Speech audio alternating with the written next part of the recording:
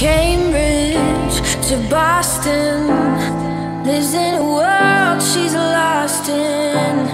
Victim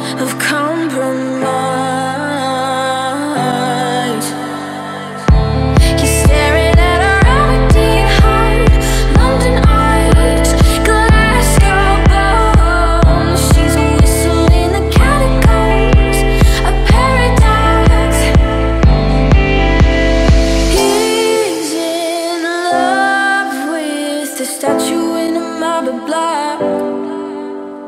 He's in love with the girl that time forgot.